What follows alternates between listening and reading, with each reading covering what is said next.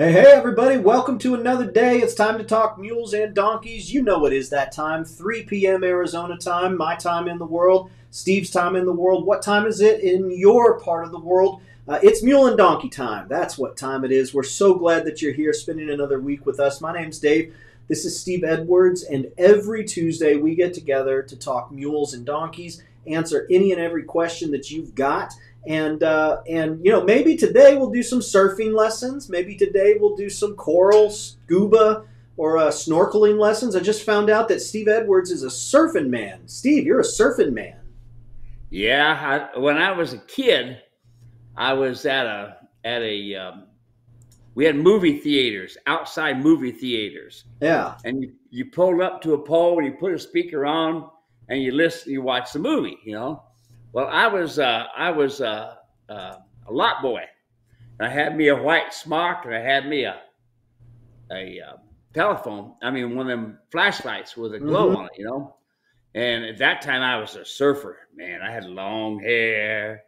yeah, dude. Yeah, yeah. And a bunch of cowboys pulled up in a pickup truck. And that night, they did their best they could to whip me really good to make sure they understood that I was not going to be a surfer around them cowboys. cowboy ever since. Oh my goodness! All right. Well, I think we're gonna need some pictures here in the uh, not so distant future. I, I do think folks might uh, might kind of enjoy that. That'd be a lot of fun. Speaking of pictures, uh, we always love getting pictures that y'all have uh, of your mules, of your donkeys, and there's no better picture we love to see than that picture of you getting results with your animal. Hey, we just worked for you know, a couple weeks on this, or hey, you know, I was, they didn't used to do this and now they are, and it's so exciting, or they used to do this and now they don't, and thank you, Steve. Like, we love that. So always, always be sending in your pictures. We would love to see that. And maybe if you send in some pictures of uh, your uh, mule or donkey in the younger days, Steve Edwards will show us some pictures of himself surfing in the younger days. Uh, like I said, my name's Dave. This is Steve. And uh, there's really only three things you need to know about today. Uh, well, first and foremost, that this is live. We are live and in person. It's June 27th, 3:03 p.m. Uh, and so, yes, we are here. You can talk to us on the chat, and we will respond. Uh, but as far as interacting, the first thing is we just want to know that you're here. So in that chat section, whether you're watching on Facebook or YouTube, go ahead, put your name, where you're watching from and what the weather's like. And if you take a look, you'll see folks are already doing that. That's how we say hello around here. That's how we say howdy. And even if you're watching on the replay, we would still love to know that you're here and uh, be able to say hello to you um, whenever you wind up watching. So, name, where you're watching from, what the weather's like. The second thing we ask is that you go ahead and put in that comment section any and every mule or donkey question that you have. Why? Because if you've got it, somebody else either has that question or is going to have that question. If you don't ask it, you're not going to get the answer. And even worse, people in this mule and donkey community, they won't get the benefit of the answer too. You're here, it's here and now, you're present. Go ahead, ask the question. Uh, there's really no bad question at all. There's no question that we've answered too many times. I, I, I think the topic we talk about more than just anything else is feed. And Steve, I uh, I was corresponding with someone back and forth this week, and just was telling him like, hey, you know, I'm I'm glad that you said something about feed. Like, I think we've talked so many times about how animals, mules and donkeys, need to stay in their own 10 by 20 stall, and you don't want them to leave them out at pasture. You don't want them to have all of that quote unquote free feed. Uh, they can't handle it. They can't handle uh, on their stomachs. They can't handle it with their energy. They, they can't handle it from a nutrition standpoint. But so many times, folks who have been watching for however many weeks or months, they ask that question. And that's just indicative of go ahead and ask that question because somebody else is going to need it, whether it's now or in the future. So, any and every mule or donkey question that you got, put it in the comment section. Now is a great time to do it. The third thing that we ask is that you share the broadcast uh, with friends or family or other folks in the equine community. You know, Bill does a good job sharing the mules of Ohio and Indiana. Bill's awesome.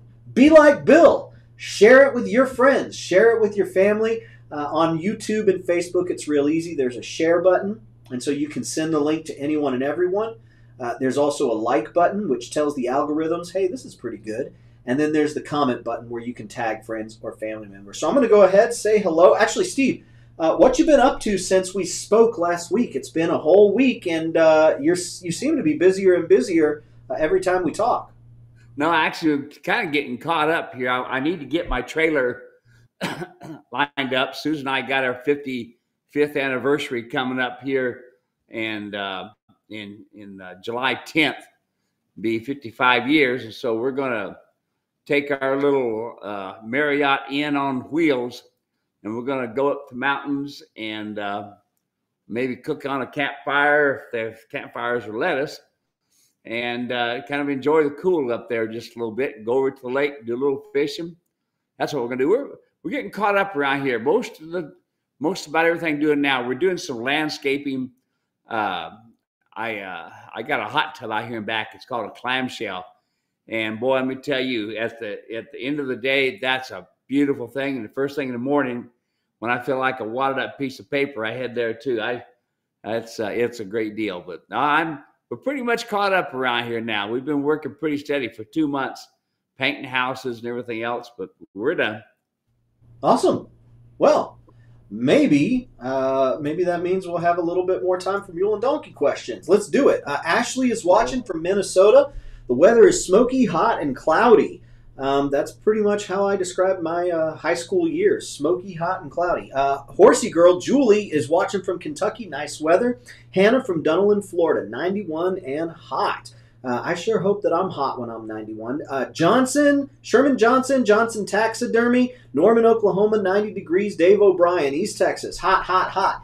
It will be hot, hot, hot. Uh, let's see here. AZ Highland Homestead. Howdy, y'all, from Prescott, Arizona. I'll bet the weather's nice up there. Sunny, dry, and windy 85. Yeah, that sounds nice.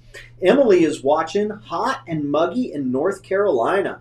Born 100 years too late, watches, says, what? I can't turn him out to pasture? Just got here. Might be hearing it wrong. Okay, let's make that our first conversation of the day. Steve, can I leave my mule or my donkey out to pasture? Hey, Dave, this is what I want. This this is what who who was it that said that? Can't, what I can't leave my animals out. Anyway, this it was born 100 years too late, so they're just okay. now showing up here. Okay, born here. Here's the deal. I want you to start eating starting tonight. I want you to go to the smorgasbord.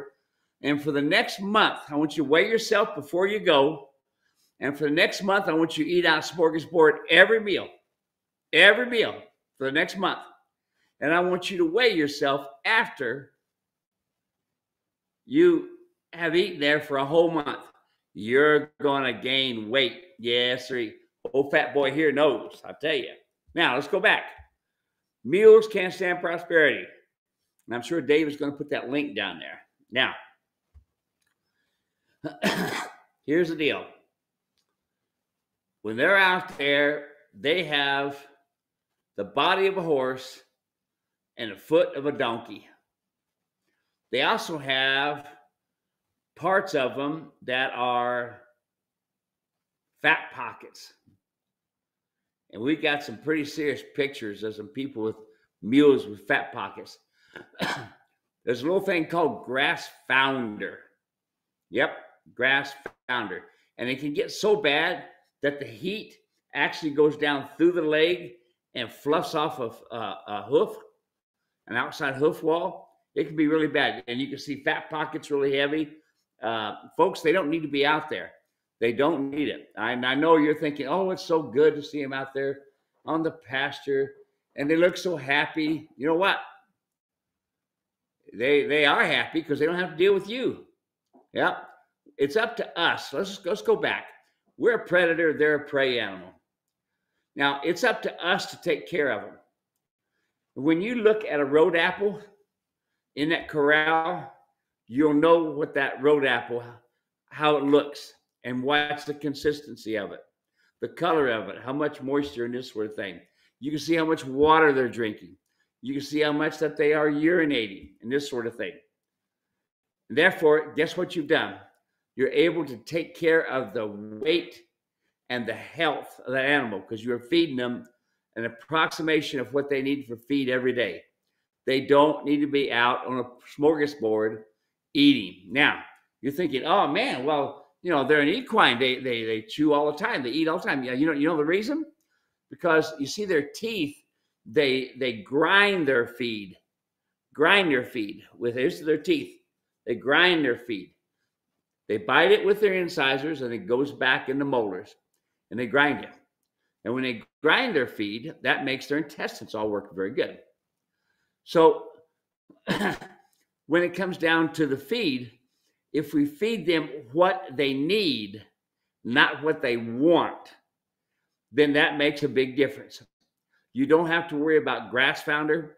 You don't have to have an over, and that's the problem. Is these mules can they can grow weight on air. So take your time, feed them correctly. Now, when do I change feed? When I go and I'm going to ride this day, I'm gonna ride six eight hours. I'll bring a, a, a morral of, of uh, grain. I use whole oats, whole oats, W H O L E, oats. I'll feed them whole oats. They can eat all they want as I am saddling them up.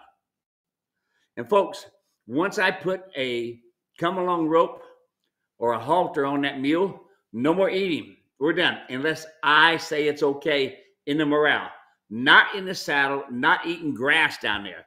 Yeah, you, you, all you're doing is developing problems. It's every week almost, Dave. I think we hear somebody says, My mule's eating along the trail. Well, yeah, you've already allowed it. So now you've got to fix a big problem. So let's go back. Here's the last thing. Everybody says, Well, it's kind of cruel being in a little 20 by 20 stall, isn't it? No. My wife's mule passed away at 28 years old we had her from a two year old. I started. She spent 26 years in a 20 by 20 stall. Good and healthy. She worked all the time. We, you know, we was always training with people and this sort of thing, pulling wagons. She was good at that stuff. She was very good. But we feed, we fed her accordingly, and we was able to keep an eye on her water and her feed. In other words, we took care of them. It's up to us to take care of these animals, and we got to feed them properly. Now, here's the last thing. when they're out there in that pasture, they don't need you. They don't need you. They're out with their buddies and stuff. What do they need with a predator? I have seen it time and time again. Matter of fact, I just had a lady just call me the other day. She's had a mule for two years. Mules always came to her, always da da da da. Well, she finally she bought a Shetland pony, so it would be his pasture mate. Now that mule won't leave that Shetland pony. You don't need to do that, folks. They don't need a pasture mate. They need you to be the herd leader. And there we go. So, follow up question. Um, so, born 100 years too late says, but moving around is good for their intestines. Sure, it is. They could just move around in circles and figure eights right there in that 20 by 20 pen. They don't need to go up a mountain to do that. They don't have to have 20 acres to do that they can still do good around in there. Okay, they can do just fine. Yeah. So our whole deal is we're going to tell you what's worked for us. We're going to tell you what we what we advocate. You get out there and try it, and if you see uh, improved behavior, which most folks do once they get the uh, one of the things is how do I catch my mule on my terms? Well, if they're out in pasture, they don't need you. They've got their buddies, they've got their food, they've got everything that they need. Why would they come to you? And so catching them winds up being a big problem. Whereas when you move them to a 10 by 20 stall, you become the herd leader. You become the one that they're looking to for everything, and they need you at that point. So it's all right if we agree to disagree, but we really appreciate you giving us an opportunity to share uh, why we think the way that we do and why we say what we say. So thank you so much, Born 100. Uh, Ashley says, definitely want to see surfer pics from Steve, for sure. Jim is watching from Western Maryland, 65 degrees and rain. Mary is watching from northwest Missouri. Wayne says, Wayne here in middle Georgia, don't even ask, way too humid. Lane says, help me with ground tying when I pony the mule and the rope has to be dropped. She takes off. What would you say here? You got you got the, the ground tie taken off. What would you say, Steve? Well, you don't have your foundation squared away and your timing. It's always our timing how we're going to do. Now look, on the end of that rope, there's a knot. And on that knot there, when when you when you get them to where you can drop the rope on the ground, they will stay there. But it's going to be up to your timing to teach them that if they if they even flip an ear to the right, you're going to wiggle their nose because you see it makes their nose uncomfortable when you move that rope, and they don't want to do that. So uh, when it comes down to it, it's your timing. And I can tell you that everybody at my superior clinic, when they were doing them, we were doing the ground tying, and everybody was doing great. They hooted to holler at their mule, other mules moving all around, and them mules didn't want to leave. And it was their timing. So it has to be that when that rope goes on the ground, they understand they, they don't want to see it move. So if they take off, you need to go back and do your foundational work again and make sure it's right. Just think the smallest thing, the smallest thing. So they even look to the right or they even flick an ear. You're going to wiggle that rope. There you go. Awesome. Next question. This one came in from Vic, uh, Vicky. She posted it on Facebook. She says, Thank you for being willing to help. I just adopted two mules and do not have much information on their history. I really wish I knew their ages. Any reliable way to tell? Um, real quick, Steve, is there a reliable way to tell the age of a mule or a donkey? Oh, yeah. Yeah, really easy. Uh, matter of fact, you can go online and just put on there how to tell the age of an equine. and your mules and donkeys are pretty much going to be the same. Once you kind of get a feel for it and you've been doing it a long time, you can just pull up the gum and look at the front teeth, or you can you can pull up the gum on the on, on the uh, left hand side, and you can look, look at what's called the Galvayne's groove, and it's a main groove coming off of one of the incisors on the very end. It looks like a sharp point, hmm. uh, it's dark colored. There's a lot of things you can find uh, and do, but the main thing is here's the thing to do: get your teeth floated. Get the teeth floated. Then when when they're floating the teeth, they can tell you how old that animal is. And here's the problem. Oh, here's the problem. Every mule is between 12 and 15 years old. Why is that? That's the key point. Man, the mule's got all this experience. He's middle aged, and horses the same way, folks. So when these when these guys and gals that sell you mules, uh, the traders, uh, and they tell you he's a 12 year old, yeah, he was probably 12 years old 10 years ago. There you go. So what am I looking for right here? Like what what should I be well, taking? You're looking at length of teeth. You know, the length of teeth is one thing and you're also looking at the how it's touching the bottom teeth as well. But so you probably got about a mm, I want to say about a 14 year old mule there. I need to look at the Galvayne's groove, which is the tooth that is on the right hand side. You can kind of see that dark color coming down on that right hand side, mm-hmm. and that that groove on the far right hand corner. You uh, you've got is it like right, right hand corner? Yeah, there you go. That's called a Galvayne's groove. That dark color going down that white.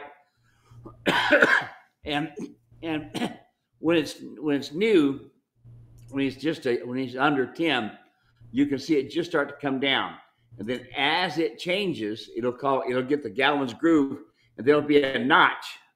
And and it'll hold on. There we go. Hey, that's a nice looking cup you got there. You like that, huh? Well, I like that all right. I bet the guy that made that cup is watching us right now. Let's see if he'll own up to it. Yeah, let's see if he'll yeah. let's see if he'll own up to it. I like that. You yeah. watching? It, anyway, so it's not real rocket scientist to look at teeth, but if you look at teeth, the older the the older the animal, the more it's going to go out like this. And that's when they call it long in the tooth. Okay. So at first, the young colts are like this to him, and as they get older, it gets goes out more and more and more and more and more, and you get long in the tooth. Awesome. Uh, so moving right along with her question, these these two that I adopted, they were at the rescue for three months and getting a bucket of equine senior each day as feed. I was told they got grass hay also, but never saw the amount, kind, or quantity. I visited them three times before they came to my house last week, and their behavior was the same in both environments. The female, confident and calm, the main, untrusting and anxious. Maybe he is a henny. He is always he always has a worried look unless I have convinced him to let me rub his ears, and then he will drop his head and relax. I received the foundation kit. Good for you. I ordered, and I know it will help me be successful, but I want to make sure I get the right diet along with the communication and exercise. I weighed the senior feed in a bucket. Filled to the top is 11 pounds of grain, and it has molasses, so I know I need to change this, but since they are still showing ribs, I'm not sure how to proceed. I have a round bale of coastal Bermuda hay that was cut in my country, Aiken, South Carolina, last month. The local feed store recommends that a triple crown balancer, which is basically just a half cup of vitamins and minerals, is the only food. This would be a big transition from 11 pounds a day, so I am not confident what a good plan is. Yeah, they folks, uh, they don't need a bunch of grain, and they especially don't need molasses. Uh, you'll see that animal uh, the one that's a little bit offish, you'll see him change within about two months if you take him off of that. Now, you know, the ribby and this sort of thing, yes, I understand that.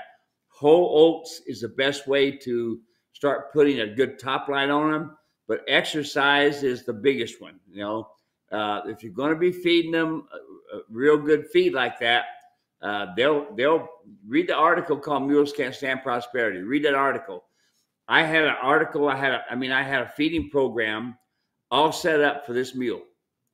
And the mule was doing awesome. And then one day she calls me and tells me this mule is a blithering idiot. And I said, Well, when did you change feed? She said, How how did you know I changed feed?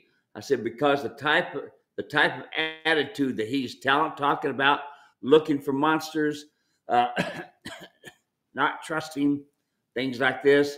Those are all red lights that says you've been feeding me grain, you've been feeding me high high carbohydrates. well, I got something bugging my throat here. You got an important message, and that enemy wants to come and get you. Yeah. There we go. I got that thing. Yeah. Anyway, um, so feed your feed program is really important. Now, I think if you read that article, Mules Can't Stand Prosperity, Here's the problem, Dave. You and I know this is that people say, well, he's doing okay today. Yeah, he's doing okay today. Just like I had a lady contact me here a couple a couple few days ago. She had morbidly obese mule. She says, My my nice little mule that just I could do anything with, I've had for two years. Now it's trying to run me through trees and trying to brush me off. Mm-hmm. Oh. All right. So I see number one, no breeching, no rear cinch, saddle setting on top of the scapula. Other reasons, overfed, overfed, overfed. So that all has to change. You know, you're going to have to, especially not having a breeching, especially not having a back seat, back uh, cinch. Now, why is that? Because that saddle, within a matter of minutes, is setting on, it creeps its way forward and gets right on top of that scapula. I've got another client that has white marks clear across the scapula this long. And there again, placing the saddle in the wrong place. What's the other problems? Feeding too much carbohydrates. Yeah, feed is connected to so many different things, and then just yep. small adjustments can correct a lot of problems. I got a question here from Renate. Says, "How do you stop a mule from eating donkey poop?" I don't know if that's a joke or if that's no, unfortunately, it does, folks. It, it, it would amaze you when if you do an analyst on on your road apples, how they um, how there's really still a lot of nutrition in there. Uh, a lot of our camps that we've had out in places, we've had the the deer and the elk and this sort of thing come in and uh, and eat the the road apples that the mules put down. Uh, here's the thing: your mules are probably telling you they are lacking in some of their vitamins and minerals. Sounds like it's zinc, but you won't know until you do a blood test or until you do a hair follicle test. Then you'll be able to tell what vitamins and minerals you're loose on. That's it, folks. That's the whole thing. Is the vitamins and minerals that I need are completely different than what my wife needs and I know Dave that won't be as pretty as me, so he ain't gonna take those vitamins the same either. so let's go on back here. All right. Let's go on back. when it comes down to these vitamins and minerals in this feed, your mule has a different uh, metabolism than a horse because he's got the donkey. And so when you're feeding these animals, you have to feed them according to what they need. Now, I'm 74 years old, and I used to think, man, I need to gobble down the food. And I used to flat put it down, but not no more because one day I woke up and guess what happened? Hmm. You ready, Dave? My chest fell to my drawers. Okay.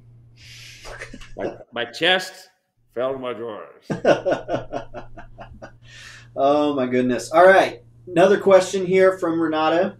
Uh, it's beautiful 101 day in Tucson. Mimi, my mule, is probably 18 and I've had her a year. She's very skittish even though I'm the one she trusts. Someone mishandled her. Ear shy, not trusting of anything. anything. Once you get on her, it's a beautiful ride. How long does it take for her to trust me? Well, there again, let's go back to nutrition. Let's get the nutrition going good. How long does it take? Who knows? I tell you what, I've had uh, one mule by the name of Tom, and he was a three-year-old when I got him, and uh, boy, he, you know, I used him doing all kinds of stuff, and pretty good little sorrel mule. As a matter of fact, a friend of mine bought him and took him to Arkansas and used him at a kids camp there. But to the day he passed away, that mule wouldn't hardly trust anybody but one person, and it was one little girl that he had trusted more than anything else, and that was my my friend's granddaughter. And uh, you'll find some of them like that.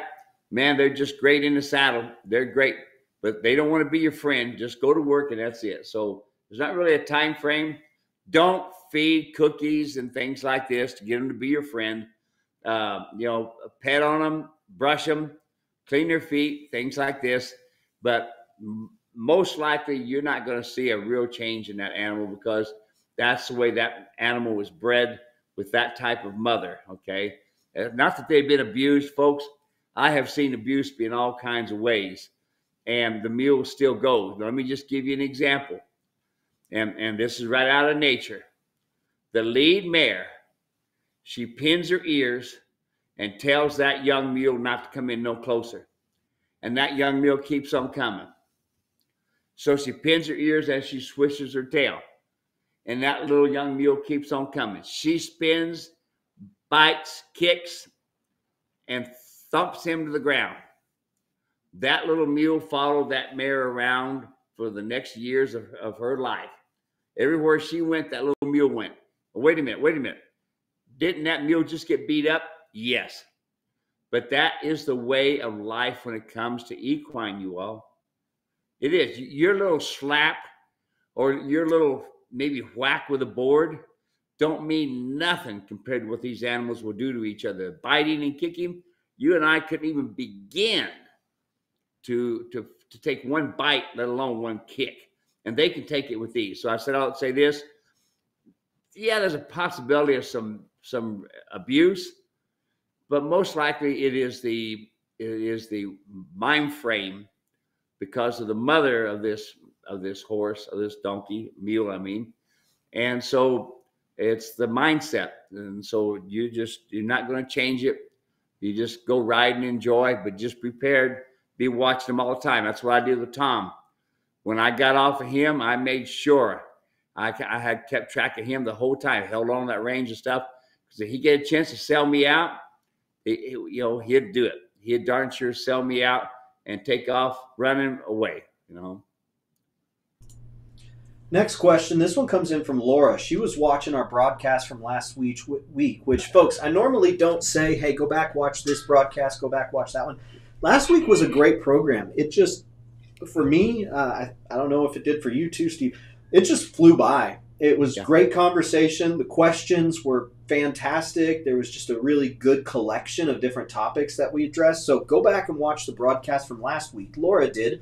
She says, "Thanks, thank you for all the great information. Every comment and answer has answered many of my questions and gave me great insight to future adventures with my mule. Five days home and such a difference in him. However, my alpha mare and gelding are very jealous of my mule. They are curious of the mule." They are in separate paddocks. Only issue Mule has weaves installed. Any suggestions?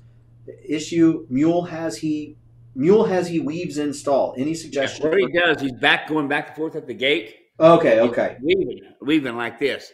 it's no big deal, folks. He just wants something to do. My two Shire mules, Tom and Katie, 17 hands high and probably 1,500 pounds apiece. Big old pair of, of uh, solid mules, black with white stock and legs, you know, out of a Shire, you know. And, and you know, I, I feed I feed once a, a, day. I feed everything at night, and the next morning we're ready to go to work. I don't wait around to feed breakfast or something like that. I feed them all they need all night. They eat all night. They drink all night. They drop their road apples. Next morning they're at the gate ready to go. And Tom and Katie, that's the way they were. And, and other animals that came to me at different times for training, weaving back and forth. Okay, come on, let's go. We got a job to do. Let's go get it done. Don't worry about the weaving. No big deal. Uh, you can get some of them that'll walk up and down that fence line and do it endlessly. That's okay. You ain't going to change it. Not a thing you can do to change it, and it's not worth all the worry. Just go enjoy. Uh, Judy is watching from a wet Wyoming. Uh, let's see here. Bill says sharing the pages in Ohio and Indiana. 73 degrees, cool and very cloudy with all the smoke from Canada. That's right. Uh, let's see here. Hannah says, Steve, you worked your wife's mule daily going places. What if they do not work often? Okay, now it's not that they worked daily. there was times that they would be on a hot walker. There was times that they'd be on a surcingle out in a round pen. there was times that maybe I used them as a animal to teach somebody to ride. Yeah, okay. So, and if they stand around, then I don't feed them accordingly. But if they're working, I add feed to them. I give them more feed depending on their work. And I watch them. I want to see a little rib. And I don't see a little rib, I'm concerned because they're getting fat pockets. So, uh, you know, if you feed your meal according to your work, if you work a three days a week, feed that grain during that time frame when they're working. Not don't just put it in their feed bucket and go off. It's when they go to work that morning, you give put it in their feed bucket, they eat it, then you put them in the harness and go, or put them in the saddle and go. But they'll you feed them according to how much they're standing or how much they're working. Uh, let's see here. Hey, Karen is watching from Central Virginia. Great weather here. Happy to watch live today, and we are good to have. We are glad to have you here too, Karen. Um, Ashley is watching. We went on an eight-day trip, and we let them graze at night, five to nine hours of work a day. So a lot of working there. So they need the extra feed then at that point, don't they? Yeah, they do. You know, even the carbohydrates from the from the grass would be fine if they got something to do. You know, if you're going to graze them out all night. Uh, what we do in our cow camps is uh, we turn all of our remuda loose, and uh, we keep a, a, few back in the in the corral, and they graze all night. And then they come in for their grain, you know, and that's how we that's how we chummed them in. They got to where they'd all we'd shake the a grain can and say, "Come on," and they'd all come in. And we use the grain. We didn't give them a lot, but we give we give them the grain so that they would come in and then we take our, our animals we're going to go to work that day we grain them and then go you know uh, let's see here. Uh, Merlin's watching from northwest Minnesota. A little late, but made it. About 80 degrees and sunny. Uh, Bill, year, Bill says uh, 22 years old. So what was he replying to? Uh, very cloudy smoke. What? 22? Oh, hmm, I'm not sure. Bill, what were you saying 22 years old to? Myra is watching from Southern California where it's 72 and sunny. Uh, Virginia, or Unger is watching from Virginia. It's 76 degrees and we are in dire need of rain. Send the rain. Send the rain. Cowboy Ken is watching. 73 degrees, cloudy in Connecticut. Hey, Mackenzie's here. Good to see you again, Mackenzie. Uh, this is Mackenzie, the guy from West Virginia that bear hunts off mules. Your saddle I got uh, off the mules mule saddle I got. If you're doing if you are doing great, whoever says you can put horses tax on a mule mule never rode in your saddles. There we go. So he's saying he loves it. Whoever said you could put horse tack on a mule, they don't know what they were talking about. They never rode in your saddle. Thank you, McKenzie. Good to hear from you. Katie is watching from a hazy northern Illinois from the Canadian wildfires. Unger says, What are your suggestions for encouraging them to stay single file in the pack train? Now, I'm assuming he's talking about mules and donkeys and not kindergarteners. So, what would be your suggestions for encouraging them to stay single file?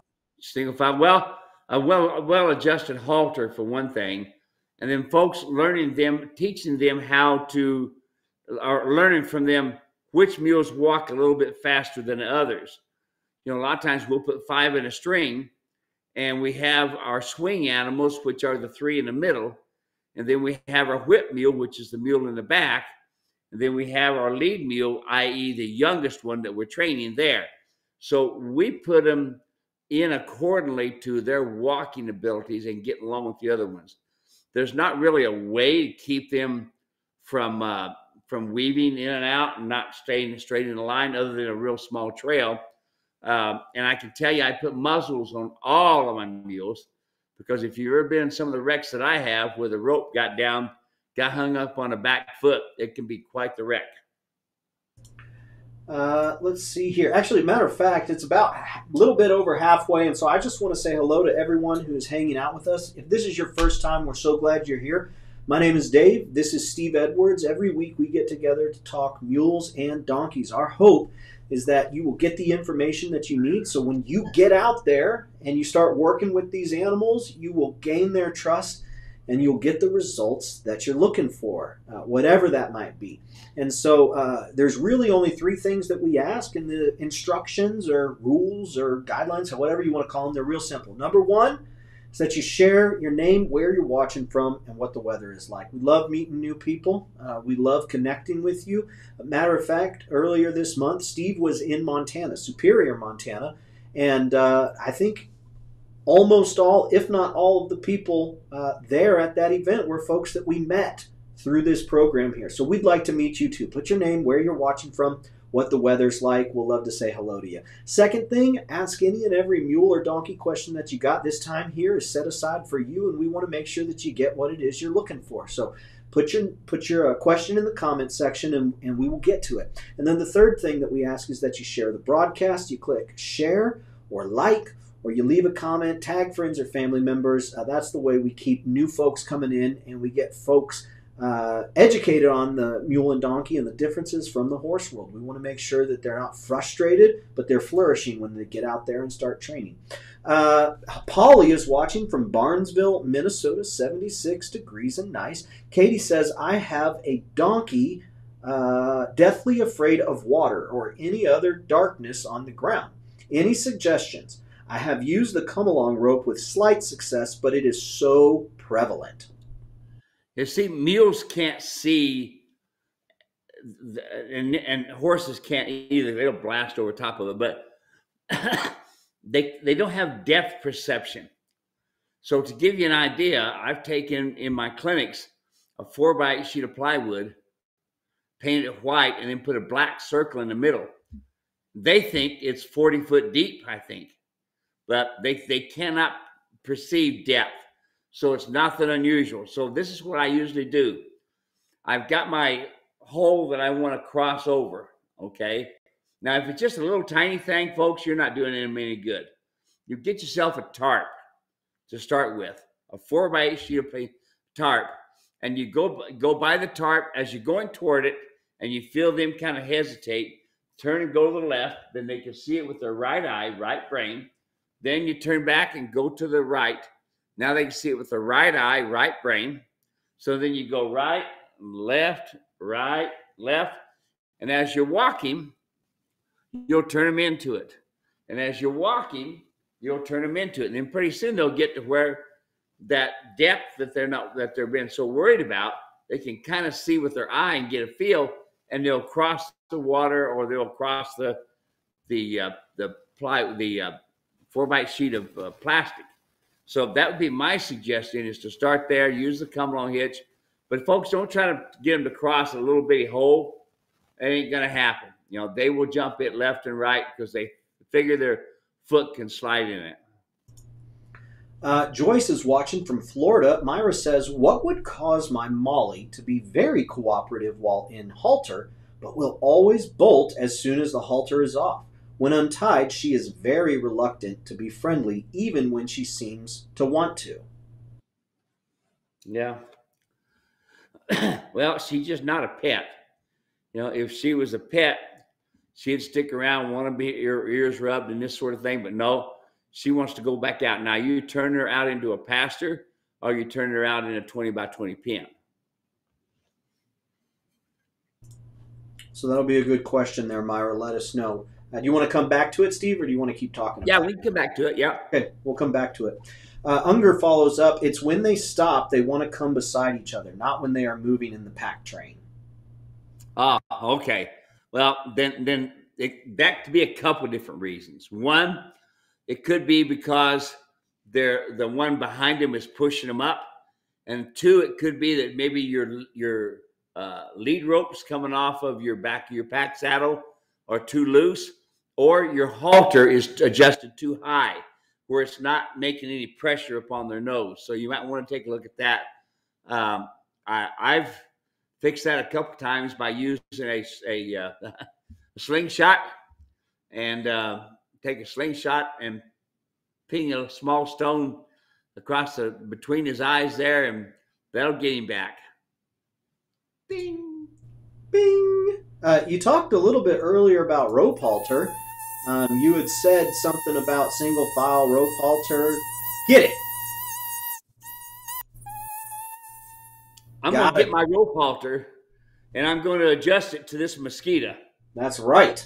I can do it because, see, folks, my halters are adjustable and you can adjust it to different sizes. So I'm going to get this mosquito all going.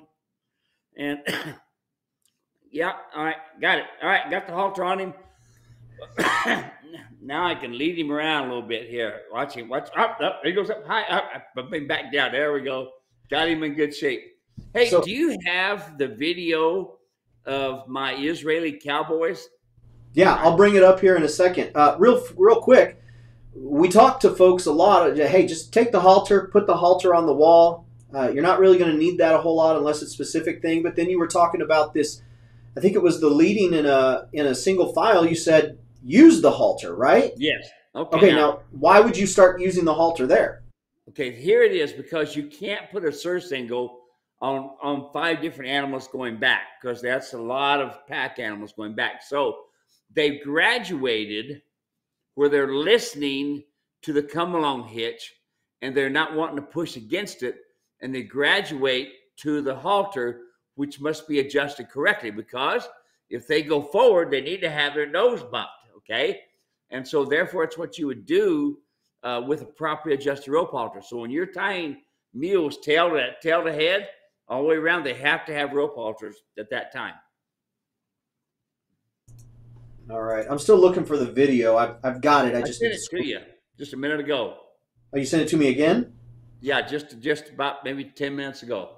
Oh, okay. Greetings, greetings from Yuri from Israel. I did you text it or did you email it? I emailed it. All right, I'll look. Um, I'll let's do it again. Uh, no, I'll, I'll, I'll have to check. Um, kind of working on the fly. Um, thank you very much for the good info. Unger says the oh the teeth picture of the mule looks like 20 years old unless it's receding. Then add seven to 10 years is what Bill was talking about. Joyce says weather is hot, too hot for this time of year. Amy's watching from Colorado, hot 95 degrees. I have a mule and a donkey, and I'm trying to learn all I can. Love your saddle, Steve. You and your store have been a great resource. We love hearing that. Thank you, Amy. Appreciate that.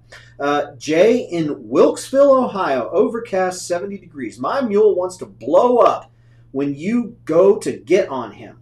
But once you're on him, he seems to be pretty good. I would love to try one of your saddles, but I would like to try it out before I buy one to see one which one suits uh, my mule best. That's a great question, Steve which of your saddles how can you tell which of your saddles is going to be the best fit for your uh, particular mule or donkey? All of them all of them my every saddle i got fits every single mule. I have one tree only. And that one tree is on my trail light, my trail rider, my ultralight, my cowboy, all of them. That one tree works out just fine. I might suggest Dave to send him a link to uh, mastering the saddle fit and let him set, see see where I fit everything from a 13-2 pony mule upwards to 17 hand Percheron. Yeah. Yeah, we can. We'll do that. I'll get that here in a second. Okay, here's here's the video right here. Okay, for folks, this is in Israel. The man on the right hand side, you see, he's riding that mule. That's Yuri. Now, when I first met these guys, these mules were dragging them into the arena. And after one week of training, they were standing on top of their mules waving the Israeli flag. So this is this he's not a trainer. It's just using my techniques to train and look how far he's come along. He can, that mule, he can do anything with that mule. And see that flying that flag and that mule just taking it right in, no problem at all. You know, so so folks, can can you do it yourself?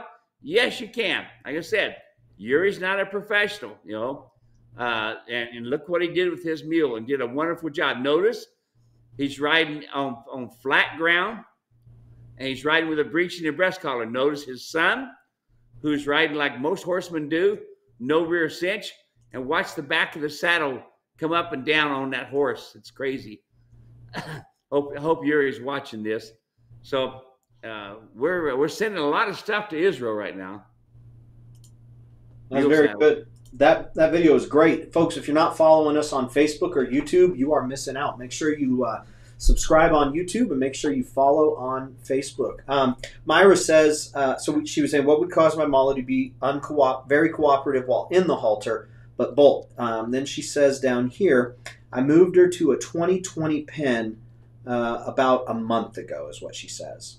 Okay, now let me give the cue of the of the uh, I want to give the cue of the saddle because the guy is moving, the, the mule is moving when he's getting in the saddle. But let's go to Myra first. Myra, you have your come along hitch on, not the rope halter, come along hitch. You go through the gate.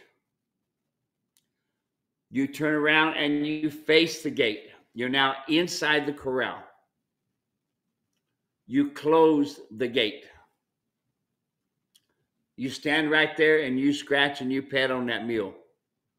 The mule is facing the gate. The mule is not facing away from the gate. You and the mule are right here by the gate. You're going to pet and scratch, pet and scratch on that mule. And when he starts lowering his head, you are then going to take the come along hitch off. Or if you have to be using a halter that day, folks, or even a bridle. When this is imperative, imperative, because what Myra's ex- experiencing right now is because we just pulled the halter off and let him go. No, no, no. You leave first, the mule leaves second. And this is the stages that you're doing right now, like I'm just telling you. When you see them lower their head, then go ahead and take the come along hitch completely off push the gate open, go through the gate. The mule leaves second, you leave first. Practice that. Because right now, that mule is saying, I don't respect you.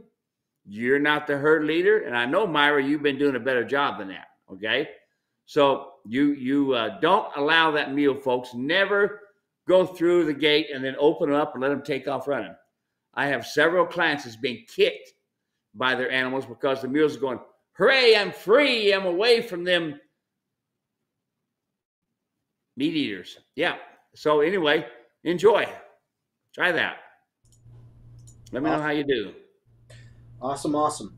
Uh, let's see here. Uh, Vicky is watching from Aiken, South Carolina, 88 and humid. Unger says, "Why not a nylon halter just for packing? That squeezes the nylon halter creates too many problems. It's big and wide, it does not it does not communicate crisp and clear like the rope halter does. you adjust a rope halter to key places on the mule's head so that the mule will have respect for it. I have seen a lot of mules because of the metal on those rope on those uh, nylon halters rub the bottom of their cheekbone. I mean, rub them raw, especially in a trailer, or if they spend all night tied to a trailer or a high a high line. Uh, they get they get pretty nasty. The problem with a nylon halter is it teaches bad habits because it does not create pressure points to tell them don't look to the right, don't look to the left, don't pull back. And see, that's what we're getting a lot of now because of the nylon halters. Uh, let's see here. Polly says, "Love that a slingshot. I have used that for one of my mule in a four up to get her to move up, only hitting her butt instead. After a while, all I had to do was say her name." Yeah, and, and that that works good. Uh, as long as we're talking about driving and using a slingshot, I use what's called a belly slapper. All right. Now, you Teamsters that are driving multiple lines, uh, you're going to take on the on the belly band. You're going to have a big ring, about three inches, and then that big ring is going to be attached to a leather strap, and that leather strap is going to have lead in the middle and leather on both sides of it and then riveted together. And then another ring with a rope a quarter inch uh, uh, clothesline rope because we don't hear about that anymore do we? Clothesline rope. I don't think i ah, how about that? Anyway quarter inch rope and then when you sit back in the in the seat in the wagon the the the belly slapper is hanging like this and then we attach the rope to this end. The other end up here is on a belly band with a ring. And then when we speak their name, Tom, Katie, step up, and then they get the idea. You, you, Uncle Bud hated it when he seen people take lines and do that. He said, "That's not a teamster. That's just a guy trying to be in the movies." Uh, let's see here, cruising right along. Uh, Bruce is watching from uh, New Braunfels, Texas, hot and dry. I gave the cup to Steve. I hope it keeps his drink cold in this hot weather. Mr. Bruce owned up to it. Bruce, he uh, he lined up. Actually, it was he gave it, but I think his son made it. That laser engraving stuff is real cool. Isn't it nice? It's real cool. Yeah, that's that's really nice. It's uh, yeah. Now ask him if it, if it was his son that done it or his son-in-law. That wasn't him himself. There you go, Bruce. Let us know. Sharon says, "Would this training work for my mammoth Jenny? I'm in Virginia and looking forward to the Tennessee show end of July. Hey, real quick, yeah, that's right. Steve's going to be in Tennessee, uh, Shelbyville, Tennessee, for the American Mule and Bluegrass Festival." This is the second year in the row uh, that Steve's going to be there. I think this is the second year for the event. I think this is a third year. Third year. Okay, so third annual American Mule and Bluegrass Festival. Uh, Steve went last year. He's going again this year. Uh, Steve is out there to support uh, the veterans. This uh, this event, the proceeds of the event. Uh, go to support the different funds that the festival partners with as it relates to supporting uh, our veterans. One of the really cool things that they do is they have veterans, and correct me if, if I get any of this wrong, Steve, but they have veterans who, you know, they partner up with and they will uh, hear their story, they'll listen uh, to the tales they have to tell, and then they will write songs that are original, uh, capturing just the, the uniqueness of the story. It's really, really cool. So Steve's going to be out there uh, it's going to be at the end of September, running through the 1st of October. I'll put a link in the comment section. Steve's real excited to be out there. But, Steve, would the things that we're talking about today work for a mammoth Jenny? Yes, absolutely. Absolutely. You got to remember that half of that mule is is a horse, the other half is Jenny, donkey. Uh, and so, yes, everything that you see me talk about is about the donkey uh, and it's about the mule. You can use it, and I've even had people. Uh, yes, you can use it even on your horses. You know, uh, because it's more natural of the way they're thinking, and that kind of helps you out a lot. All right, so we've been waiting the entire time. I didn't know if it was going to happen. I thought we might get to a point where it just was not going to be a reality for this show. And uh, I was going to be sad. I was going to be a little bit disappointed. But, Steve, Trace is chiming in from Queensland, Australia. We've gone international. This show, once again, has hit multiple continents. And we're so glad that you're tuning in. Trace from Queensland, Australia, 54.5 clear skies. Myra says, Thanks, Steve. I'll wait for a lowered head and then walk away. Yeah, everything with these animals is like every second is training with these animals. They're Yeah. learning every single minute, every single second. They're picking stuff up. And so you just got to be aware of the cues that you're sending and the things that you're not sending. So that's great. Yep. Um, Bruce says, Dave- My son in law, Aubrey, is the one who did it. Ah, and he did a great job too. So I, I've got a hard close today because I got Hey, to go. wait, that's it. That's that was the last comment that we had. So we're good for So today. I got something to share here.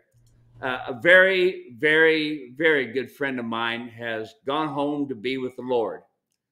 Evidently, uh, the Lord needed a mule skinner up there, and he got one of the best. And this best is Ron Clayton. Yeah, uh, very good friend. And um, Ron ran the mule barn up at the Grand Canyon for several years. Vietnam veteran, served our country, family man, and a man that loved Jesus. And his son put on a Facebook so that we all we would all know. We knew he was in his last days.